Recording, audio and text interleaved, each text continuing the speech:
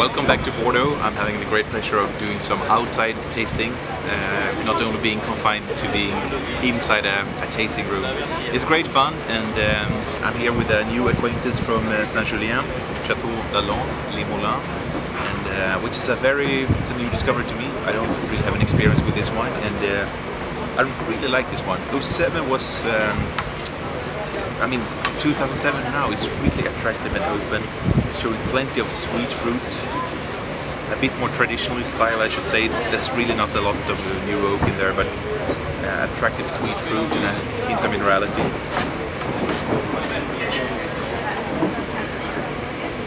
Mm. On the palate, it's quite sweet fruit, soft and supple. Still a bit youthful, still a bit more youthful on the palate. There's a youthful acidity to it, which uh, I mean it might need a, a, few years just to, to soften a little bit. Tannins are present but not um, really sharp.